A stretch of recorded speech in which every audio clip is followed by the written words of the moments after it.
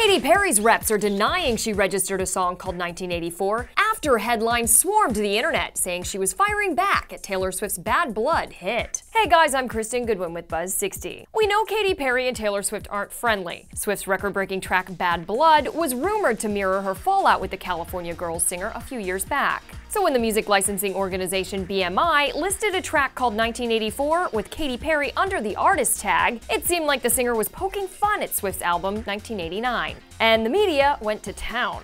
But hours later, a rep from Perry's management company, Direct Management Group, told Billboard magazine the story was completely false, saying Perry was not involved in writing, singing, recording, or registering this song. BMI confirmed the 1984 song was registered back in September, while TMZ is reporting it was registered by a Swedish songwriter who previously worked with Perry. Apparently, Katy had no idea, so down goes the drama that went viral. But something tells me this isn't the end of the musical feud between these pop princesses. Buzz60, now you know, pass it on.